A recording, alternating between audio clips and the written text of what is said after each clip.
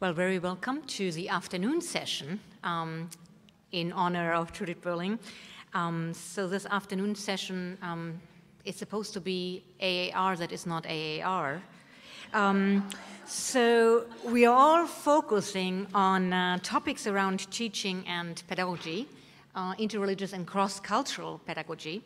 And I have um, the task that I found out very recently uh, to introduce this illustrious panel um, besides giving a response. So that means I also introduce myself. It's a little unusual, but it's a conference for Judith Berling. Unusual is definitely not out of the ordinary. So uh, let me just uh, uh, introduce myself for a moment and then I, I would like to uh, start and introduce uh, the speakers. We are going to have, all the speakers are going to talk um, like 20 minutes, um, less than more, and, uh, and then we are, uh, there's going to be a response and then there's going to be a Q&A. Um, so who am I? Uh, I would say, um, I would start to say far, far away, there is a deep green forest full of dwarfs and princesses, ivory towers, and Roman Catholicism. So it is filled with fairy tales and Schleiermacher. No Judith in sight. So, trained in political science, comparative religion, believe it or not, and psychology, I finished my theology here at PSR in 1995. I can't believe it. And I then happened to be very happy because I thought I had enough to um, plaster on the wall. I didn't want to study anymore. Um, but my community, I happen to have a vow of obedience, um, said to me that they would like that I do um, doctorate. And I didn't really like that idea. And then I said, well, if you push me, I push you. So I said, well, if you want that I do a doctorate, only in one place, and that's the GTU. And so they didn't understand that, and I said, "Well, you see, I have um, have I had a little scent of it in 1995, and there is somebody going around there doing something about interdisciplinarity, and I really want to do interdisciplinarity." So I contacted that person. Then, when I finally, you know, got the permission to actually do it at the GTU, and I'm sorry, not in Rome. um, and then I had a meeting with uh, Judith Berling, and I um, came, you know, fully prepared with my interdisciplinary project.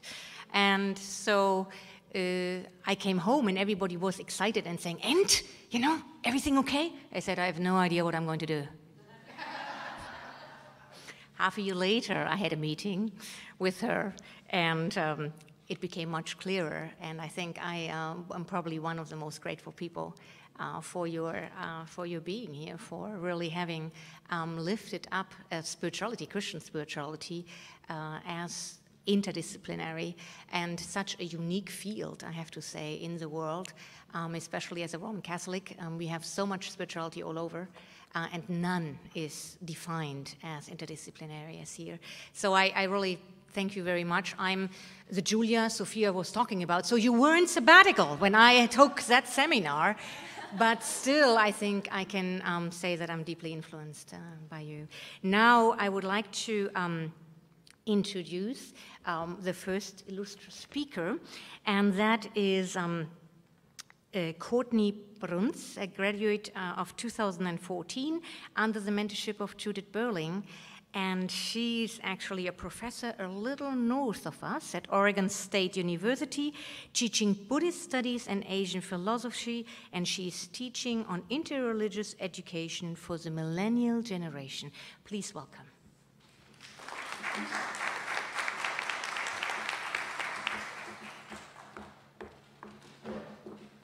Thank you so much, and thank you uh, to Emily and Sophia for organizing this symposium, and Judith, thank you for giving us the opportunity to honor you. Um, oh, I need the remote. We're gonna go high tech.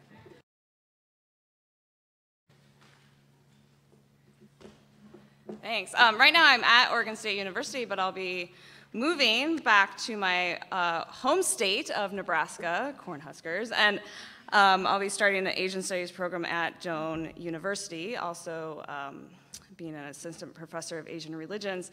And Judith, you and I share a lot in common of being these Midwest women, right, who leave, and then you come back to the Midwest and you are like this weird bridge and students say oh oh you're like us but you're really not like us because you've gone to asia and you have all these interesting experiences right um, and so for that i was just reflecting on how much uh, my life uh, in, in many loving lovely ways uh, parallels yours and i really hope that i can be the inspiration to my students that you have been to yours um, so, to begin with that, uh, two years ago at Nebraska Wesleyan University, I asked students in my Religion and Philosophy of Asia course to acquire perceptions of Asian religions across campus.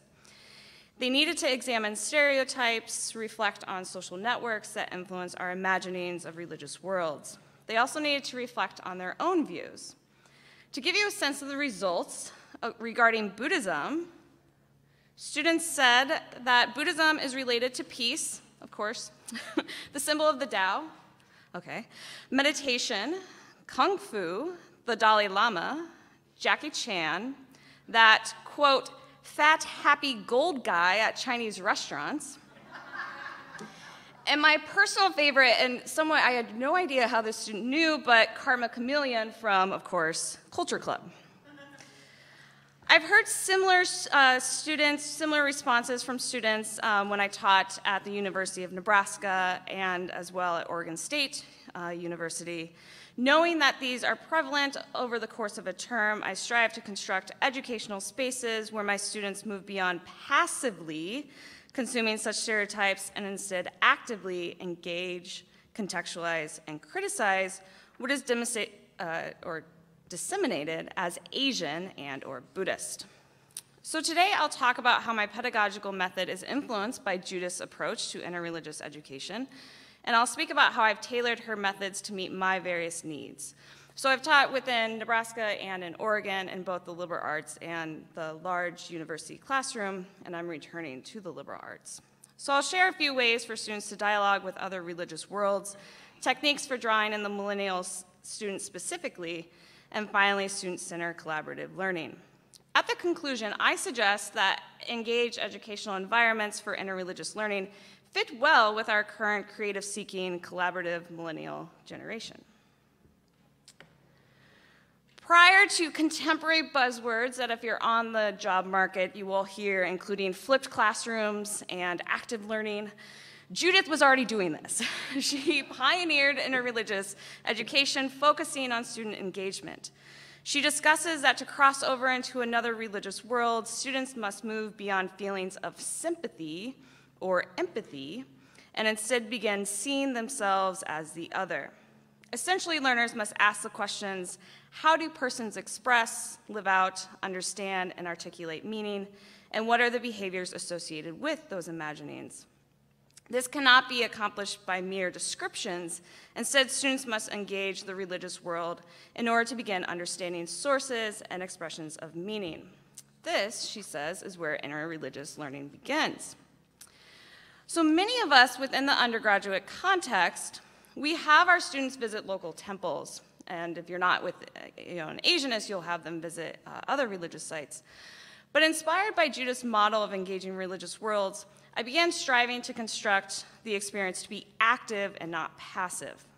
From my experience, many temples have somewhat of a set agenda when receiving guests. The Hindu temple in Omaha, Nebraska, for example, has a 30 to 45 minute presentation that introduces students to the community, key beliefs, and has a guided tour around the main sanctum.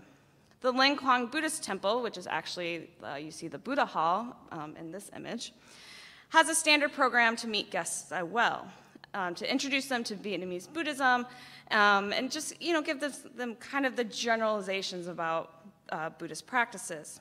These pre-arranged programs are excellent for instructors, but they're too passive. They fall back on description rather than active engagement. When I first began taking students to Linh Quang, uh, shown here, I provided them with information on what to expect, how to dress, proper customs, etc. but I did, I did not do a very good job. I didn't actually provide them with any tools to move across boundaries. Um, I, I, didn't give them a task to look for, what to, you know, to, to investigate and inquire while they're in the Buddha Hall. For example, if you don't know what to look for when you're in the Buddha Hall, you're not going to ask why are there so many Guanyin statues above. You're not going to ask well, why is why is Shakyamuni holding this other uh, uh, Buddha in his hand. You're not going to ask those questions. Classroom models, which, um, if you're in the liberal arts context, this is key for for um, instructors to show that they're using uh, these kinds of kinds of engaged pedagogy. So a flipped classroom is a blended student-centered pedagogical model where instructors try to make the most out of face-to-face -face interaction. So you'll have students perform and perhaps listen to lectures outside of class, and then in class you enter into dialogue. Active learning tasks are encouraged to help students process and apply instructional material. Flipped classrooms have been proven to be highly effective for millennial students because the learning is innovative and interactive, just like our students. In reconceptualizing the temple tour, I flipped the situation so that students became participants and not mere observers. Step one is to produce a defined learning objective and determine how students are going to use or apply their learned material. My temple tour assignment now asks students to answer the question, how does any particular place become a sacred space? In order to apply learned knowledge from our class, my assignment requires students to locate the particularities regarding sacred space. I encourage them to further answer what makes this space significant to this particular religious community, what forms of expression are evident in this space, and how are they being presented. The second step of a flipped model is to familiarize students with new material. For my temple tour, the new material is essentially what that particular Buddhist community presents itself to be. What texts are important to them? What histories? What imaginings? To investigate why the toured place is a sacred space, my students need to spend time outside the classroom researching the religious community. Throughout the term, they've gained familiarity with Asian traditions in general, and in my course on Buddhist traditions, specifically with Buddhism, probably far more than they ever thought they were getting themselves into, to be quite honest. But that's okay. Uh, but prior to visiting any site, they need to research how the community expresses itself through social media, websites, new, news feeds, etc., as well as through events and activities. With this, students begin gaining a notion of how this community itself um, begins to understand who they are. This understanding accomplishes the third step of the FLIP model, that activities should motivate students to prepare for the educational experience. For my students, gaining familiarity does so. Steps four and five of the flipped classroom involve active learning strategies as well as ongoing learning. The purpose of my assignment is to provide a setting where students pr process what they have learned in the term. And it's in these steps that I pointedly draw on Judith's work so that students encounter the plurality of Buddhist understandings even within one single community. So I have them gain deeper understandings of constructions of sacred space, notions of the sacred in general, use of myths and symbols in religious life, and significance of rituals. While on site, my students observe Dharma services in the Buddha Hall. They also, though, then arranged by me, receive a guided tour, um, which again requires us as instructors to uh, be active in our communities as well. But they receive a guided tour in which you know they can ask questions. They're able to interview participants, and then, and their favorite part, they get a meal. right? So they love that, right? Because it's the best Vietnamese food that you will find, I think, probably in three states in the Midwest. So following all these exercises with their fellow classmates and me, they then share and exchange their experiences and also ask each other questions like, what did they notice about the community? What images struck out to them? Did they have any questions that someone else in their group could answer? Learning continues after the site visits, and then I have students work together in groups to prepare presentations. So while final papers are individual, then pre presentations are collaborative. So my use of contextual learning is obviously not groundbreaking because most of us use contextual learning, but I think this dialogical model has really shaped it. And what's been interesting to me as one who does a lot of ethnography too, is that I've, I've been able to use some of these interactions for my own work to talk about Buddhism in, in, in the West and Buddhism in Nebraska. So what's happened from some of these exchanges is that when we are having a meal, for example, one of my students um, was asking about uh, what the education process is like for young people within the Vietnamese community. And one of the practitioners said, well, at the age of 12 or 13, after they have passed through lessons starting at the age of six, they receive a Buddha name. And, she's, and she, the practitioner was assuming that most of my students were Christian. And so she said, Well, you know how you have a baptism at, at infancy, we have a baptism, but they're 13. And so then it, it, entered into this interesting conversation, and I said to my students, and we began talking, I said, well, in some ways that's a really interesting comparison. At the same time, really what she's talking about is really not like baptism. and so it entered into this, uh, this whole other space that I had never imagined. And it became this interesting dialogue for my students with practitioners and for those practitioners, it was an interesting dialogical process for them because they were having to, they were putting their notions of what it means to be Buddhist in, a, in Christian rhetoric, right? So it created this, this sense where we were all learning from each other, and it was a very fascinating um, exercise. And if I hadn't have constructed the model in this way, it would have been left to this um, audience kind of a notion where you have this presenter and you have a passive audience, and that's all your students receive. So, drawing in the millennial specifically. So, current pedagogical research is flooded with discussions regarding the millennial generation as active learners. Millennials respond well to lively class discussion, engagement with class material, and great creativity. At the same time, many of my students come to me used to being taught to a test. They're used to having Google answer, answers via a Google search seconds away, and they still do expect that there is one way to get an A. And they want to know, they want to have a rubric to say exactly what that is. So this creates a, a great challenge because we have creative students, but we have creative students who have been told that there's one way to receive a good grade. And so it's, it's somewhat messy for, um, for those of us teaching undergrads. Further, um, what Judith notes is that in a discussion of interreligious learning, students encountering new religious worlds are already tempted to uphold um, similarities across religious traditions and tend to shy away from traditions that appear too foreign. Both situations prevent students from moving beyond the familiar into the unknown. I would add to this that from my experience, students are also likely to fall back on initial assumptions regarding other religions, and they are often fearful of taking risk and afraid of being wrong. They don't want to offend. And this also, I mean, we can spend further conversation about why this is occurring and, and the changes of communication that has influenced this, but because they're so afraid to offend, they're shy to ask difficult questions which is really challenging if you want students to encounter you know, an uncomfortable position and move into the strangeness of Asia. So I've seen this in both the Midwest and the West Coast context. I don't think this is a Midwest thing. I don't. I think it's a it's what's happening with millennial generations. So what this means is that we must help our students understand other religious worlds, and to do so, we need to tailor teaching styles to meet them where they are. To enter a new religious world, students must be empowered to traverse the awkward path.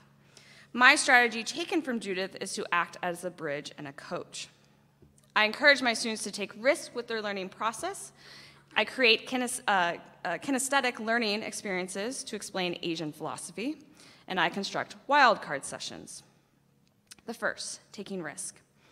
In her analysis of student centered learning, Judith suggests that it is useful to create learning environments where students take risk. I have approached this in a variety of ways, but I think my current term has actually been the most successful. I think learning styles of millennial students are well suited to interreligious learning, and this is the most successful through multiple forms of engagement. This year, I teach an upper level um, Asian thought course. I encourage risk taking by allowing um, students to complete weekly reading responses in creative and artistic ways. Students have the option of completing a traditional paper, but should they so choose, they may express the teachings studied through an artistic medium, uh, and then accompanied with an analysis. This openness to learning has resulted in paintings, photographs, short stories, and films expressing the students' interpretation of the philosophies learned. And I have a few examples up here. Um, so to give you a sense, uh, one week, especially when we were talking about how the lotus is a key symbol within Buddhist thought of, you know, the lotus grows in mud but rises above, um, a student wanted to incorporate some of her freehand drawing, and so she drew a lotus. And while th that was more of an obvious sense, right, she then incorporated it with an in-depth analysis and then went further to talk about metaphors related to the lotus. Um, another student and talking about Madhyamaka, uh, Indian philosophy of the middle way, which is really uh, difficult to talk about because it's, you know, this this tricky balance between nihilism and, and absolutism. She made a cup at the top, so she tried to play around with the, the, sense of a cup and, and colors and where does the middle way fall within colors and the sense of, but then also to relate it to the fact um, that the space of the cup, that openness allows as well for full expressions of what it means to be a bodhisattva. And she just went further and further with it, which, which was wonderful. Uh, so by choosing a non-traditional medium to express their understanding, a student takes this risk. However, by encouraging them to do so, I think students have analyzed Asian philosophy and manners exceeding my expectations. And further, they felt empowered to convey their learning in new ways. And as one student told me just yesterday, we're in week nine of a weird quarter system, but as one student told me yesterday, she said, I'm so grateful to be able to express myself through art my art has grown alongside my understanding of Asian philosophy. So for her, she sees it as this is a perfect pairing, that she herself is expressing herself and, and almost being like that lotus of growing amidst difficult situations. Not only do I encourage my students to take risk, I, as an instructor, have been empowered by Judith to also take risk, which is awkward. But that's okay. Uh, in addition to oral and visual learning, I approach teaching Asian philosophy through kinesthetic models. For example, in presenting differences between the individual, static, true self, the Atman in Hindu thought, in comparison to the lesser, changing, false, ego self, I, alongside with my students, we play with Play Doh. So I take a piece of candy, uh, ideally, and actually I did this with, with caramel because caramel is wrapped by, by, plastic, so that's clear. So the plastic kind of represents the jiva with the caramel representing the atman. Together it's the jiva, atman, the soul. Just go with me. so this is kind of this, this true self, right? Then the caramel gets placed into the Play-Doh. And so every student then has a piece of Play-Doh that really houses a caramel, but they can't see the caramel, just like we can't see our true Atman because of this ego changing self, and we play with the Play-Doh and recognize that, well, the Play-Doh form, just like our ego self, it's all changing. So then we enter into this conversation of, well, when you detach, when you literally open up the Play-Doh, what do you have left? You have left the caramel, the, the Atman. So this demonstration obviously isn't perfect, how, but it conveys, it conveys Asian thought and, and philosophy that's really difficult to students. Um, as noted earlier today, students are coming as spiritual but not religious. That poses another problem. In some ways, actually doing comparison is sometimes somewhat easier because then you're comparing, you know, Asian thought to something else. And so, by um, giving them another means of understanding uh, philosophy, it makes it more real to them, and they're learning using other senses and, and using their body themselves. I also like, like that I'm demonstrating that I take a risk, right? If we want to encourage our students to take a risk, we also need to take a risk. I like that it's playful, I like that it's creative, and knowing that abstract philosophical ideas are difficult, it's a new way to transmit teachings. Finally, to create casual settings in which students feel empowered to ask all questions and discuss any topic, I offer coffee shop sessions. Um, I do this to incorporate what Judith talks about as wildcard sessions. During these meetings, there is not a set agenda, and my students lead the discussion. I have found that more students will come talk to me over coffee than they will to my stuffy, boring office. right? They like coffee, the sense of it's, it's casual. They feel that they're, they benefit from the informal conversation. Coffee shops hours, I still choose a coffee shop on campus, so it's still within the realm of academic settings, but it's a non academic building. And we're exploring student driven interests. And sometimes I, you know, come with ideas if they haven't, if they don't have any questions, but it's just a casual conversation. And I have to say that what happens then outside the classroom in these coffee shop hours always transmits into the classroom, and students then talk more readily within the classroom. And in a class of 52, which is a large enrollment for a 300 level Asian thought course, you need students to talk. And so this way of having casual spaces, and I love the, the sense of the wild card session, and students like that idea as well. Um, it, it has really helped in class learning. All of the above has introduced the ways in which I strive um, to create student-centered atmospheres. In multiple articles, Judith writes about her experiences and decentering herself and empowering students to be co-learners and as well as co-teachers. To accomplish this is to shift the course's objectives, I love this, from what a professor will teach to what students will learn. And within the course of a term, the instructor's concern should not be merely providing students with their expertise of their own knowledge of the course topic, but instead helping students cross bridges to explore new concepts. In this manner, courses on religion and philosophy should thus not be, merely be about religious literacy, but more importantly about religious philosophical interpretation. To get out of the way of student centered learning, the instructor must give up some control, providing mechanisms for students to take ownership over what is learned. So, in some sort of con con concluding thoughts, is another um, uh, really talented students, I have to say, in my philosophy class. Today I've discussed the ways in which my teaching is informed by Judith's pedagogical models and the successful outcomes I've found. I've left out a lot of the unsuccessful outcomes, but that's all part of the journey, right? Is, is learning what works well and, and celebrating what works well. Interreligious education involves moving beyond religious worlds, and in doing so, students also learn more about themselves and their own worldviews. When one learns about another tradition, the individual has the opportunity to reflect on what she holds to be true.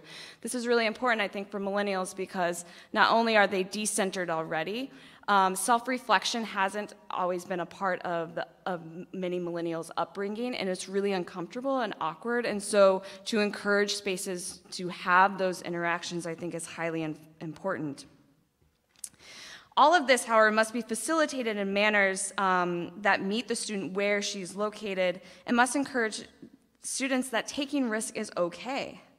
Learning styles of the millennial generation fit the goals of the interreligious instructor well, for both respect the particularities of individual learners and individual religious communities, while also recognizing the plurality embedded in both. In my experience, professors of religion and philosophy have great opportunities to incorporate student centered education into their curriculum, which fosters students as lifelong learners, as well as conscientious community members. My students who encountered now the Buddhist community, they learn to stand with their, their um, community members not as participants and an observer or an audience, but rather as neighbors. To teach our hyper-connected students how to move beyond passive social interactionism, as well as proliferated religious stereotypes, we are tasked with teaching them to be active. To do so, we must create spaces where students are not merely exposed to other religions, but instead engage and interact with religious worlds themselves.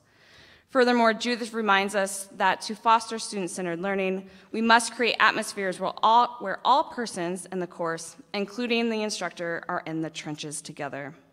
This guides every class I teach, and I'm grateful, Judith, to you, for with your models, you still continue to be in the trenches with my students and me. Thank you.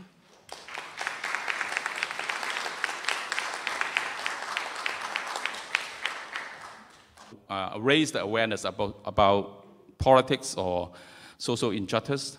But when I returned to Hong Kong, I realized that I'm a new immigrant. A city which I call home.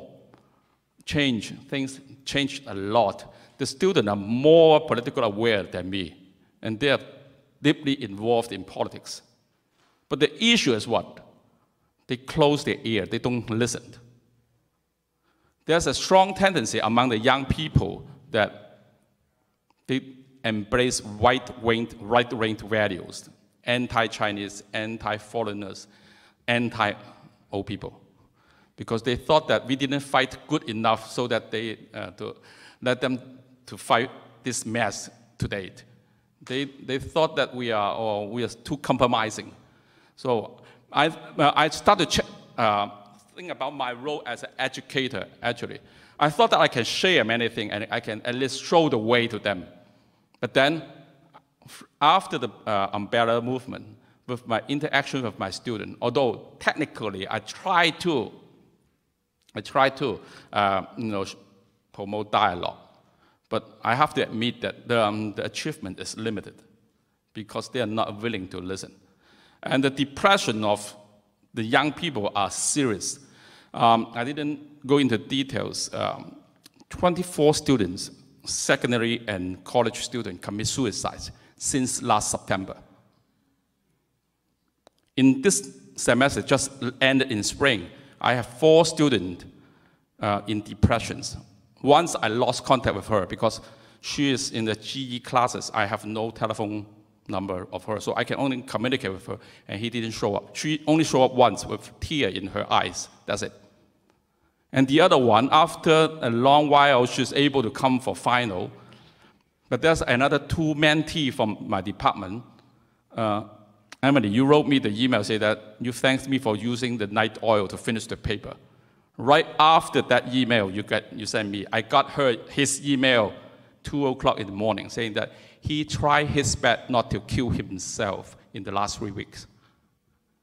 And two of them are now hospitalized and are in, uh, under medications. Although they are now a little bit better, but I think this kind of depressions among the young people, the loss of hope, is a challenge, is an invitation for us as educators in general, as educators in religion, to show them that uh, although we may not hope for something very concrete, very giant or very promising, but at least we can hope for improving relationship among friends. Uh, one of my students come to me uh, about three months ago. He said, "You know where is the fiercest battleground during the umbrella movement?" I said, "No, where?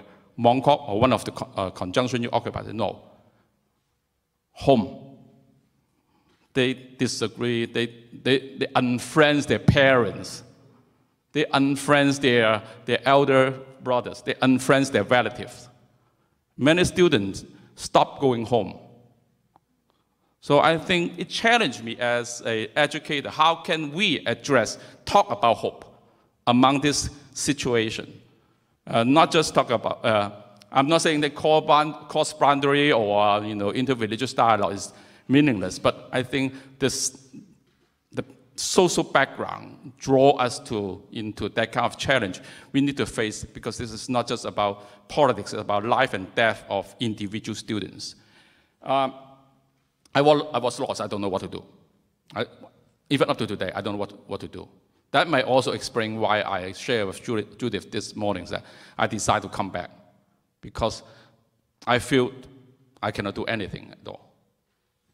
So it is my invitation if you can share or cheer me up so that I can still at least, you know, uh, help to inspire my students.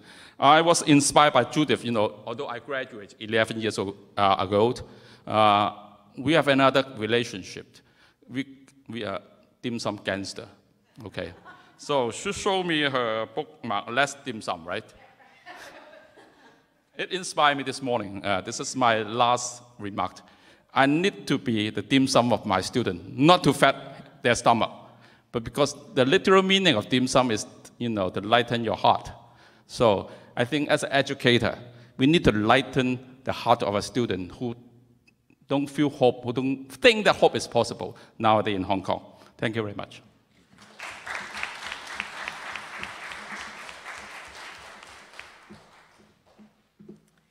Thank you. So the fourth speaker is uh, Joanne Doi, a Maryknoll sister currently in Chicago as co-director of the Maryknoll Sisters Integration Program for New Members and also teaching at the CTU. She taught at FST in intercultural theologies and ministry, and previously served in Peru among the Aymara people.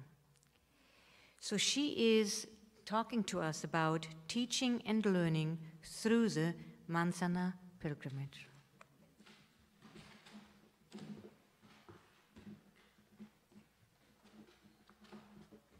Good afternoon. so this will just be a backdrop slide. That's the uh, cemetery obelisk at Manzanar, just a little meditation.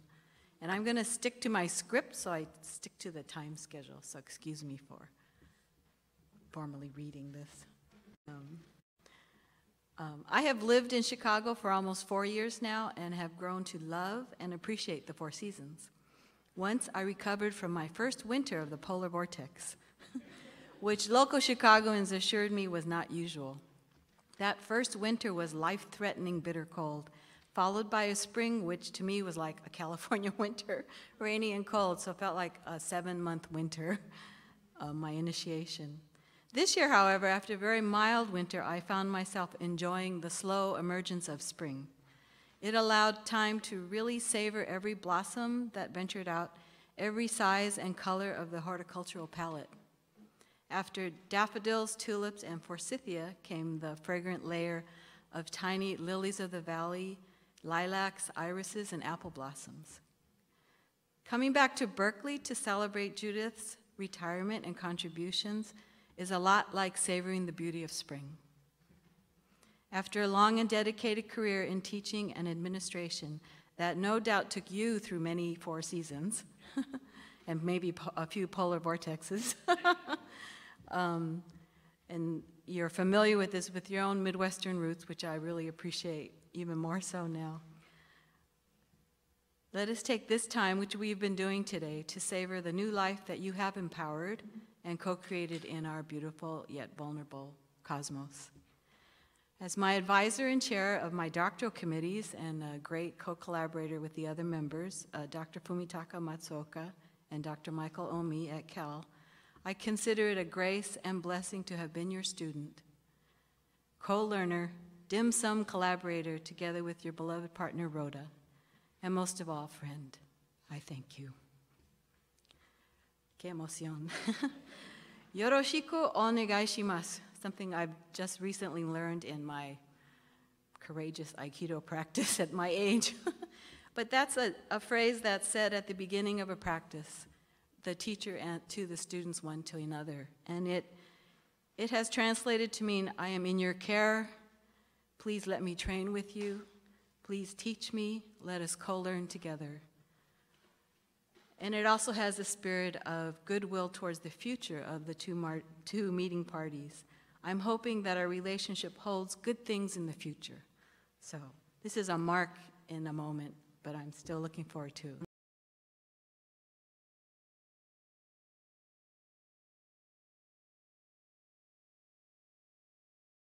Course design and syllabus development.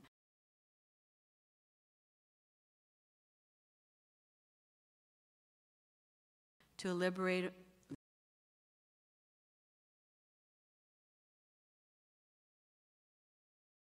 this process. Learning about Howard Gar-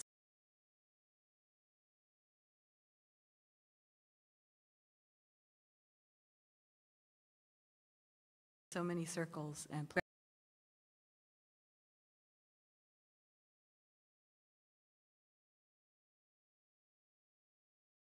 graduate studies course, even though from different starting points.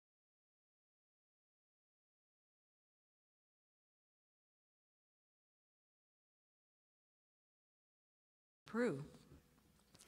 You articulated the goal of empowerment.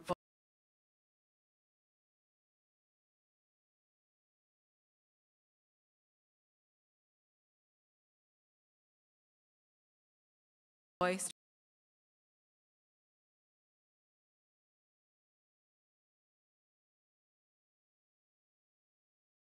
strengths and weaknesses improvement.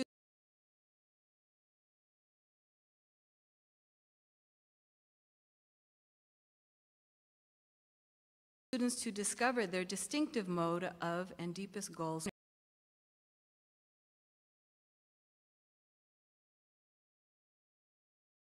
rather than recipients of the banking method with deposit.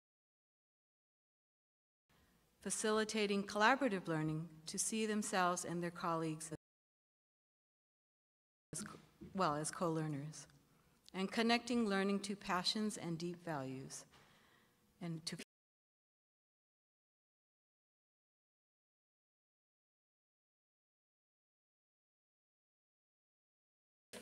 or brave uh, and courage.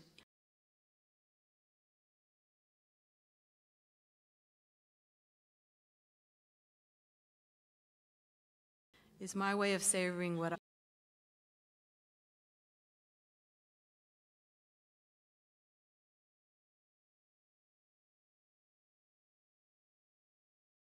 to you. I lived many years in the southern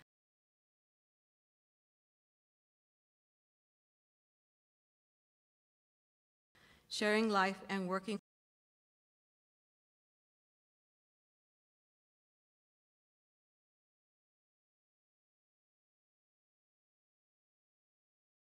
They recognized and embraced me as another.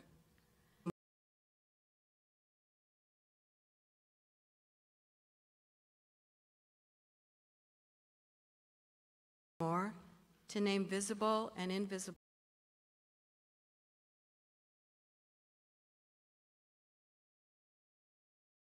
to respond, and in so doing, to experience.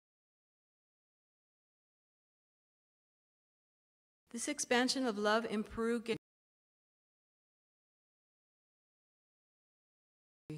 and a new heart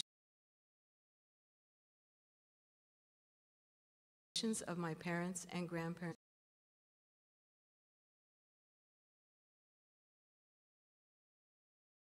Practice among the Aymara. creativity, and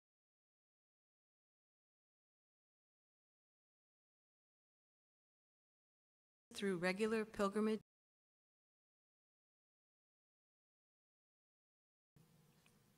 Beginning in 2004 with this my own heritage by personal journey, a return. grandfather were detained.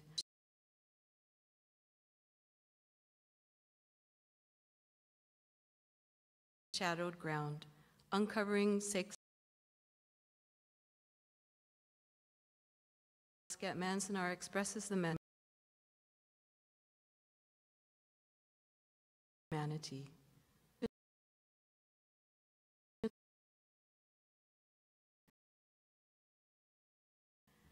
It is not an escape like tourism, but a re-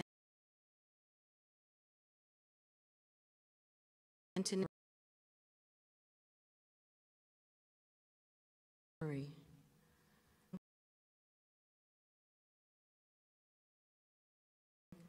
re-entering and recovery of history and recovery.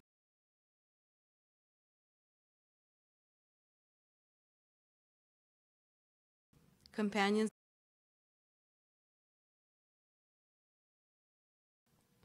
I need to internment. It wasn't simple in our understanding that these pilgrimages.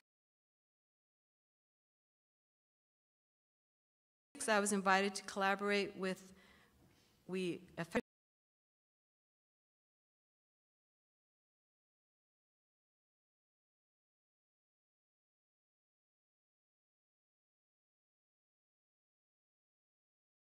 Civil Liberty and Faith Project, which Deborah Lee was uh,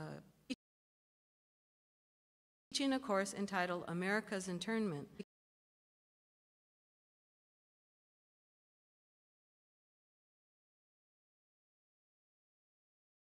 Education pedagogy with adult learners and wondered if these practices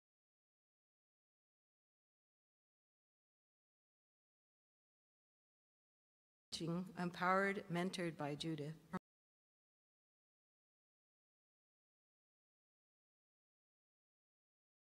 Promote relationality.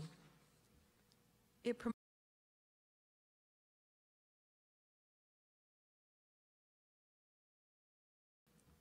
engagement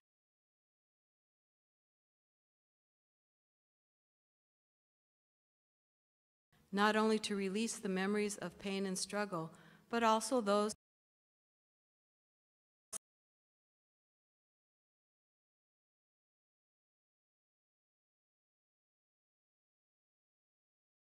a class at 20 who came from very diverse ethnic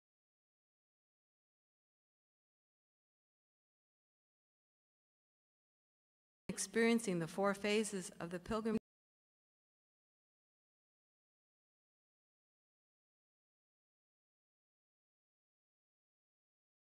this phase it revealed a widespread woundedness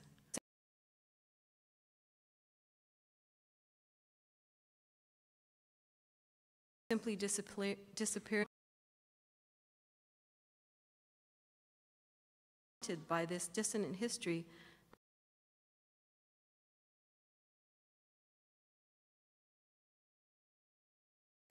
The commitment to journey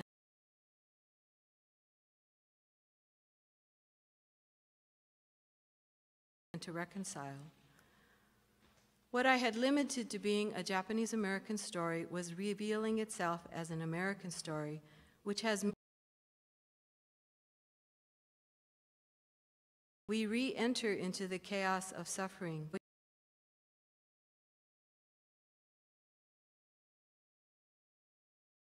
Which made the suffering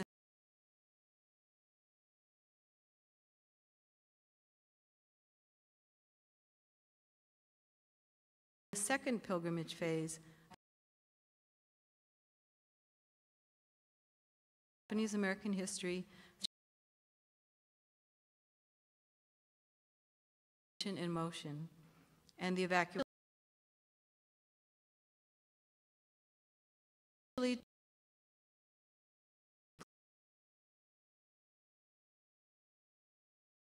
Completion of 10, quote, relocation centers or concentration camps in remote areas of the country, often on Native American land. Time being limited here, I will defer to the many historical resources and Asian American Studies departments um, that are available regarding the internment period. Uh, fortunately, there's more historical work being done on this now. And we were fortunate at that time to have living survivors in the area who were able to share their memories of their experience. We collaborated with two local historical Japanese American churches, Buena Vista Methodist Church in Alameda, California, and Sycamore Church in Albany, California. In sharing their stories and with respectful listening, healing and new learning happened for the survivors and the students. The commitment to journey to Manzanar and understand what happened continues to release that which has been shrouded in silence for many years, and paradoxically, brings new wholeness in knowing more of the entire story, which is still emerging. The survivors would bless and thank us for the journey we would be making. In many ways, the immersion and experiential aspects of the course began before the actual physical journey to Manzanar. Preparation also involved spiritual practices that freed us to temporarily suspend status quo or social markers in order to be able to cross a threshold and enter into liminal space and time. Simple embodied gestures in silence were developed, symbolizing listening, remembering, mourning, honoring, and sharing. These were invoked and practiced together at different moments during the course. In response to the survivors' stories, during classroom sharings, at different places at Manzanar, such as the gardens, the latrines, mess hall locations, the children's orphanage, and at the obelisk at the cemetery during a dawn prayer. Theological preparation provided a means to reflect on suffering, mourning, memory, and hope. The losses endured that cannot be recovered require the ability to mourn rather than be forgotten, compromised, or sacralized. The memory of suffering grounds hope as it counteracts nostalgia and historical triumphalism which causes forgetfulness or opacity. Metz writes, quote, resurrection mediated by way of the memory of suffering means the dead, those already vanquished and forgotten, have a meaning which is yet unrealized. The third phase is the journey itself, which in a practical sense meant an eight-hour bus trip through the Central Valley, across the Mojave Desert and up the eastern side of the Sierras to arrive at the Manzanar National Historic Site, now in the care of the National Park Service. We made the journey with a heightened senses of sight, sound, taste, touch, and smell, our ability to perceive. We journey to a quote, thin place, where the boundaries are more porous and permeable between the visible world of our ordinary experience and the encompassing spirit sacred God that is present everywhere, though we often do not perceive it. Thin places is a metaphor that concerns anywhere our hearts are opened. Dusk and dawn, mountains and high places, music, poetry, liturgy, literature, the visual and theater arts are some of the many kinds of thin places. I would venture to say Judith's classroom was a thin place at very different moments. Certain people are thin places where we experience the Spirit's presence. Serious illness, suffering, and grief have the potential to become thin places when our hearts are broken open by such experiences rather than closed down. Yet, how do we rise with our hearts that feel simply broken from something, such as the historical injury of internment? How do we collectively enable, empower each other, and journey together to name the wound, mourn well, in order to live into the process of transformation? So, this is not a new question, Fai, for possibly, we're asking the same question then as you ask now. This is what we were co learning, discovering, and experiencing together. We joined with over 700 other pilgrims converging during the last weekend of April for the annual Manzanar pilgrimage. The weekend involves a program of historical awareness, making the connections to be vigilant today for similar situations, and an interreligious ceremony that involved Buddhist, Christian, Shinto, and Muslim elements to honor the dead that evoke layers of meaning, collective memory, healing, and ongoing commitment of reconciliation, justice, and compassion. It is a journey that frees the pilgrim from all that prevents heart unity with others, where we experience communitas. There, in the hot desert sun by the cemetery obelisk, with Mount Williamson standing in the background, we gather to remember, to listen, to mourn, to pray, and to dance Obon, the dance with our dead, with hope and gratitude for the imprints of compassion on our hearts. We literally encountered imprints of hope in the stone and waterfall gardens created by the internees for the contemplation of restorative beauty amidst the unjust desert incarceration, the unfailing stream of integrity and the flowing waters towards justice. Imprints of hope are birdsong on barbed wire, dawn and dusk at Manzanar, communion with the living and the dead, echoes of children's voices, both past and present, youth reaching out across the barbed wire realities of today, elders and ancestors passing on wisdom and strength for the journey.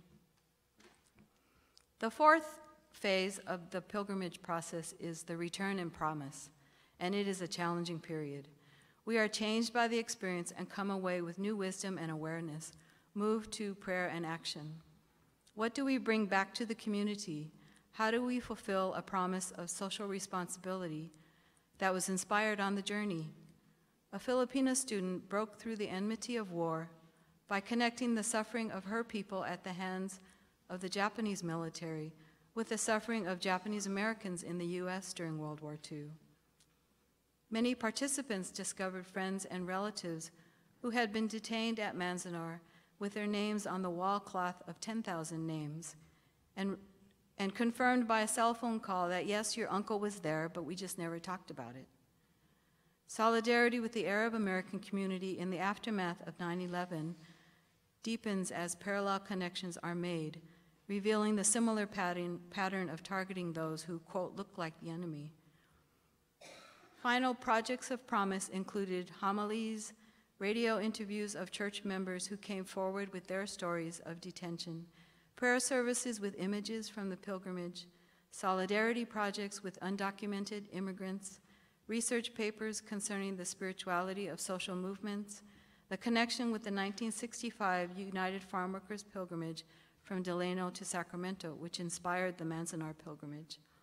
Native American layers at Manzanar, reflections on Church on the Bus and intercultural faith communities, lesson plans on the Manzanar experience, and for many, an ongoing commitment to participate in the annual Manzanar pilgrimage, as well as search out other sacred places of our lived experience. In conclusion, I share this poem by one of the students at the time, Michael Sepidoza Campos, uh, a PhD at, here at GTU, and this is used with his permission. But life persists, it is relentless. Where terrain, though desolate, channel a people's spirit to hope deeply. To see beneath the veneer of discomfort, to claim life upon a land that has both spat and embraced them. There is stunning hope here. There is gratitude from which we draw life. We encounter the voices of our common ancestors. May we learn to see with their eyes, hear with their ears, touch with their hearts, and so hope as deeply. We remember and we are blessed again and over again.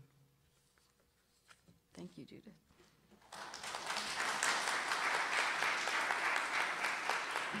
So I'd like to invite you to stand. This is just a little pause movement break before um, Julia speaks.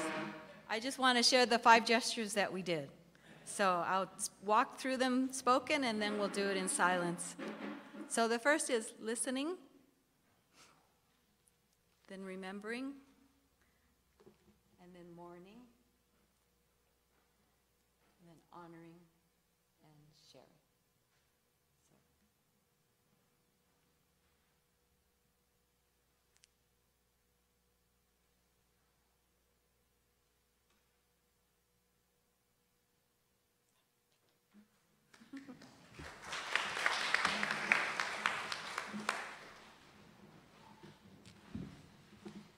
Actually, I think you can give a round of applause to this wonderful panel. Um,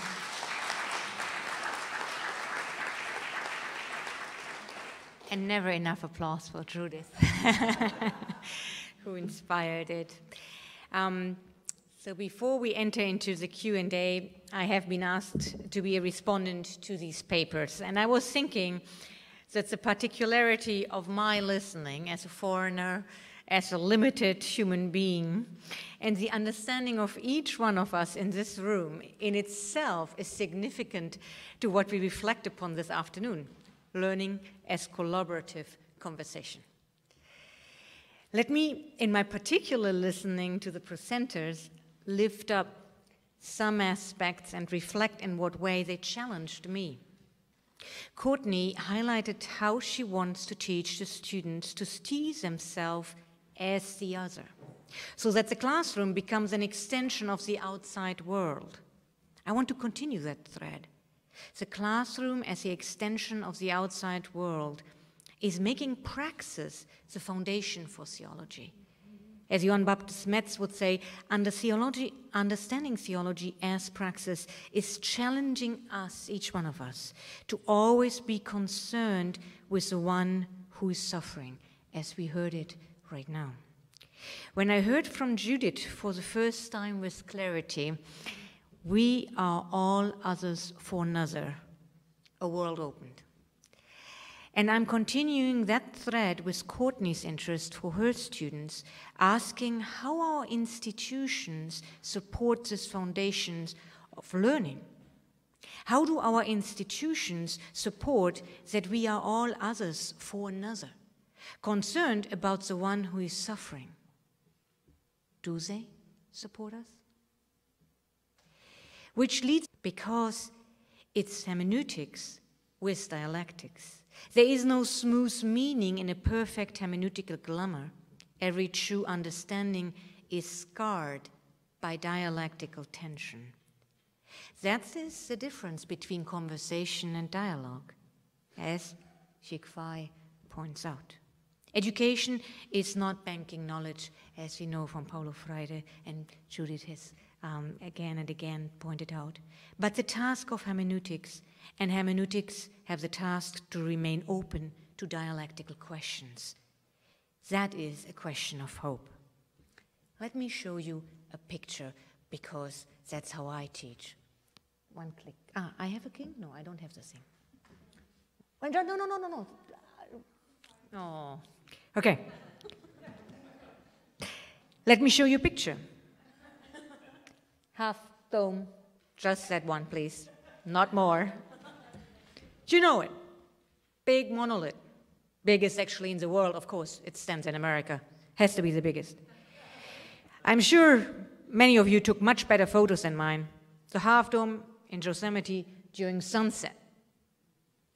Hundreds of photographers generally waiting for the perfect shot. You see the trees, the clouds, the winter air, a harmonious picture with a crisp meaning. Until I tell you, now please the next picture. It's a tiny little thing. There are no trees, no clouds in this picture, and the half dome actually was photographed by me upside down, and the majestic monolith was a tiny little reflection in a water puddle of melted ice between some snow blocks. Questioning our frameworks, how we see, how we understand hybrid, mestizo, amphibulous, nepantla, to only name a few attempts to deal with interreligious, intercultural, intersocial existence. That is where Joan Doi was reminding us where are our thin places as educators, as teachers, as learners all our life? Those places that open our heart. How are we able to perceive the Spirit indwelling in the space, in the person, in the text, in the arts?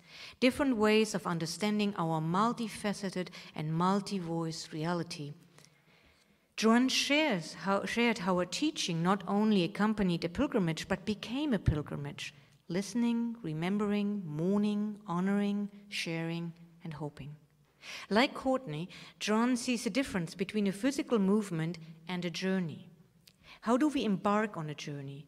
How do we not only question and move teaching settings, but become journeyers, co journeyers, and pilgrims? Do we have the capacity and possibility of silence in our teaching? As John experiences on the pilgrimage with her students, how do we find hope? As we were asked from Yik Fai, how do we teach Islamic education facing Paris, as Reem reminds us? I would, find, would like to finish a short response with a reflection on what Joanne asks. How do we name the wound? mourn well, in order to live into the process of transformation and hope. As a German, I have never been able to do theology without the dangerous memory, as Metz calls it, of Auschwitz. That's my heritage. How do we name our wound? Each one of us. Perhaps it is in the grayness and the non clarity of memory and grief that collaborative conversation interreligious and cross cultural pedagogy begins that leads into hope. May I see the next picture?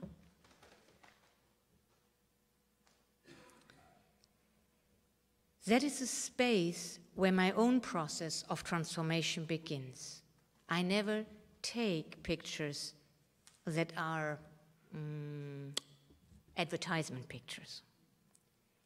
That's perhaps a thin space I can offer the students.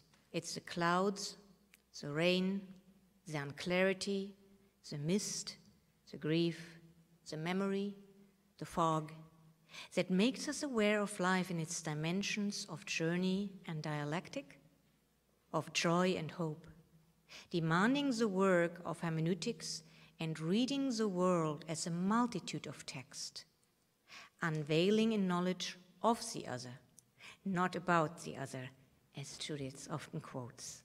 So, the second picture, I would like to um, leave that for a moment and then let us gather the questions you have on what you listened to. Next picture.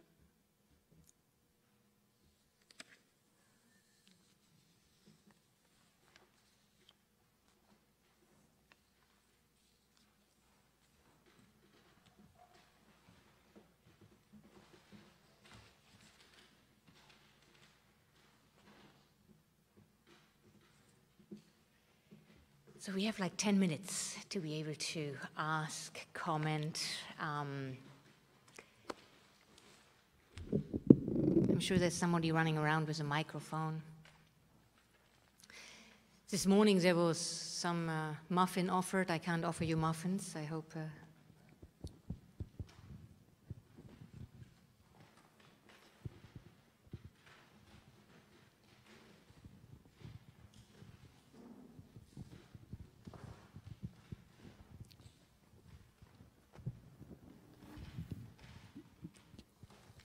quick, short response. The Finnish educational system, if you know it, and its relationship to all of your positions, did it effectively give you insight? Were you aware of it? And if not, does it pique your curiosity?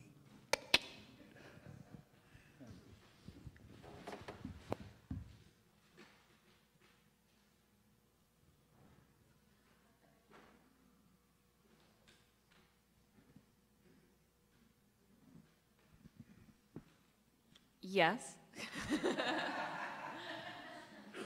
uh, for those of my friends who have young children, they often talk uh, about the Finnish Educational Society. Uh, I mean, it's it's very interesting. Um, the sense of play as well that comes up. I've how it's influenced my own teaching is I require my students to stand up and move their bodies frequently because I teach an hour and 40 minutes. That's a really long time to sit. And so I have them stand up and move their bodies and ask them to not just sit and play on their cell phone during break. So there's this, that's how it's influenced me, I suppose. But yeah, I mean, I'm interested.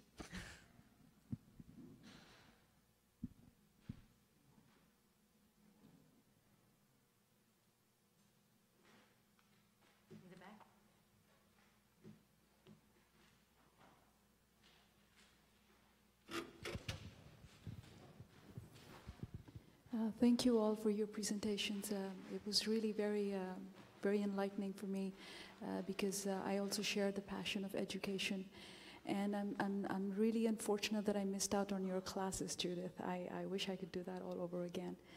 Uh, but when I, as I was listening to all of you present about the pedagogy of education and the student-oriented way, I'm reminded of um, how a teacher is um, a guide on the side and not really a sage on the stage. Uh, and um, I, I, wonder if, if you've looked into the traditions, the religious traditions of how the prophets were perhaps the best teachers. And, and the modes that they employed in, in gathering the flock together. I mean, as I sat there and I listened to all your presentations about what the pedagogy ought to be, it, it was just a reminder of all those modes employed by the prophets to be able to get their flock together. Uh, and it's just a, there's no question here, just a comment that I wanted to share with you. And keep up the good work that you're doing, and God bless. Thank you.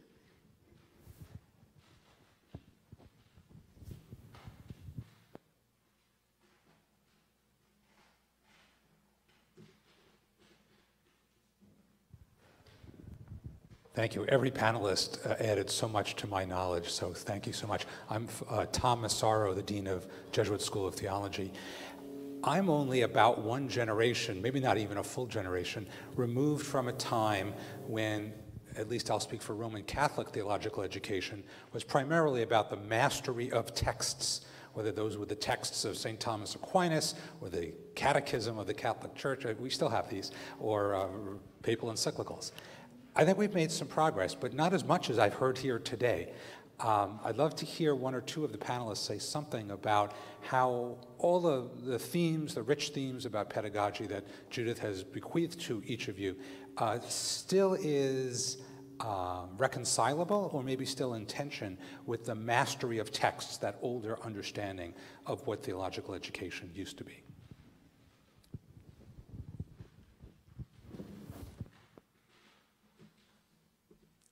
Panelists. Mm-hmm. One of you. Well, I'm speaking as a cradle Catholic, even though one time Judith thought I was Methodist, which I take as a compliment. But I just found, um, if you have the, oh, I'm supposed to speak right into this. There's somehow the, the period of, well, I don't know what I'm, it's the emptiness or the silence or the not knowing lead you actually to the experience of a deep faith experience that has been experienced over time. And, but you can now relate that. Maybe this is an acculturation question. But so then the texts, the mastery of those texts are actually, you can understand them as emerging from a certain context and actually understand them in a way because you've understood it from your context. So then the dialogue, you need the dialogue, but then you, the resonance can also happen. So it doesn't, uh, it doesn't push away that text, but maybe it does contextualize it a bit, but also get at the deeper layers that you feel you can connect with. I don't know if I'm saying this, but that's what I've been experiencing with this.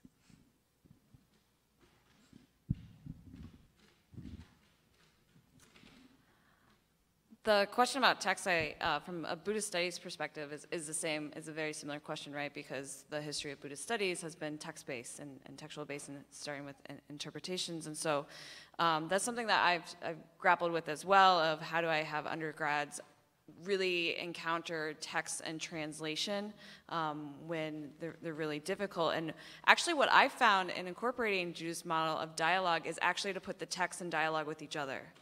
And so, and that's been really effective, um, especially in the course that I'm currently teaching. That, uh, you know, there's this great debate about Buddha nature with you know Chan masters in the Tang Dynasty, right? And so, my students loved this dialogue between these these Chan masters, and now we put you know Taoist uh, masters into dialogue and Confucius masters into dialogue. So we're using the texts and putting them into dialogue themselves, which allows my students to also then feel empowered to then also be in dialogue with the with the teachings. So that's one way that I've um, thought about this is using text in a particular way to keep that richness um, that's coming from tradi- tradition, but also then to make it more playful. Well, I'm not in theological education. Actually, I'm fighting against theological education in my department because they, they are too theologizing ethics. So, but I, in my context, I teach Chinese religions.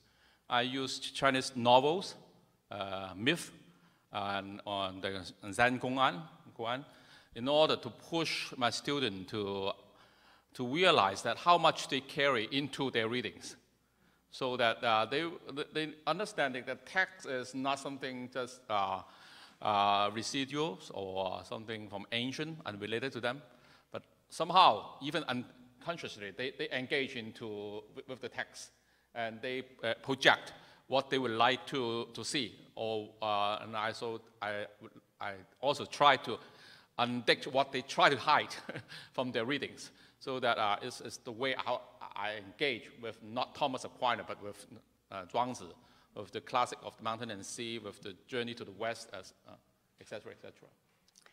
And perhaps just as a good hermeneutical um, response, how do we define text? And is it not actually about a dialogue between texts, than rather a pedagogy of reading just a text? But a life is also a text. We have time for one more question.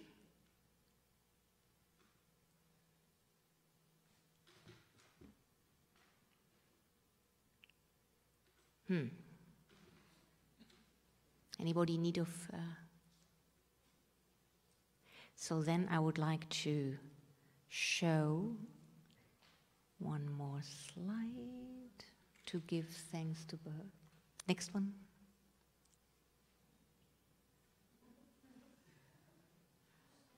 Oh, it doesn't come out, huh? Just thank you to Judith, so if it doesn't come out.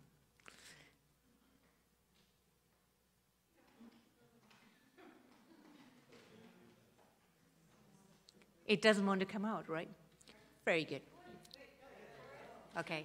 Thank you, Judith, for soaring like this heron, the GTU. Thank you.